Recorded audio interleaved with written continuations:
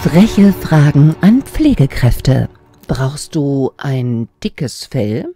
Ja, definitiv. Also vor allem so, wenn was in der, im Krankenhaus passiert, zum Beispiel ein Patient stirbt oder so, da muss man schon manchmal ein ganz schön dickes Fell haben, um das auch zu verarbeiten. Ja, definitiv.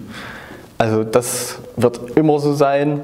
Man sorgt sich ja nun mal halt sehr um seine Angehörigen auch und dementsprechend äh, giftig sind dann halt auch manche Angehörige. Aber da muss man halt sich in die Lage mit reinversetzen und das wird uns allen irgendwann mal so gegangen sein oder so gehen.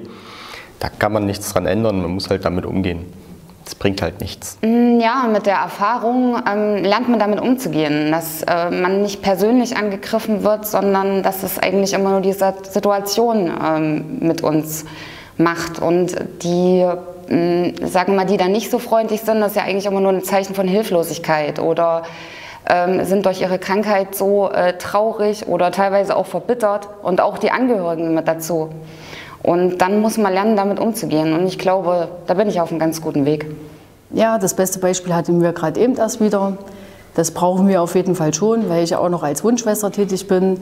Es sind halt dann auch viele chronische Patienten, die unzufrieden sind, ähm, Angehörigen mitunter halt auch schwierig aber mit einer relativ coolen, lockeren Art und Weise. Und wenn man sich vielleicht auch auf das Niveau mitbegibt, dann kommt man ganz gut damit zurecht. Ich denke ja. Ich, habe, ich bin angeschrien worden, ich bin mit Messer äh, bedroht worden, das gehört dazu.